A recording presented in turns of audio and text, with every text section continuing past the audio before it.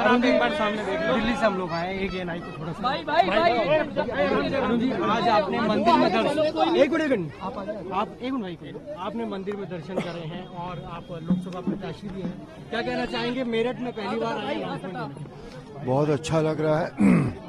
अपनी अपनी धरती पर आकर बहुत अच्छा लग रहा है। और यहाँ आया हूँ मैं। आया हूँ तो कुछ करके कुछ करने के लिए। यहाँ तो दे लो बाइक तो ले लें दो मैं यहाँ मेरे से जो भी हो सकता है राम जी ने एक छोटी सी सेवा दी है मुझे। पहली बात तो मैं अपने आप को उसके लिए उसके अ, उसमें प्रूव कर सकूँ कि हाँ मैंने ठीक आदमी को सेवा दी है।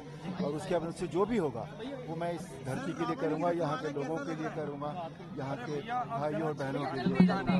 तो आप सबका सहयोग मुझे चाहिए होगा उसके लिए। मैं उम्मीद करता हूँ कि आप सबका सहयोग मुझे मिलेगा। जैसे मोदी जी ने 400 पार का नारा दिया है। नीरज भाई कवच कवच कवच हाँ, कवच मेहनत से मेयर काम साहब किया आप करो जाएगा, मेयर 400 साहब पार। हो जाएगा पाक धर्मेंद्र भारद्वाज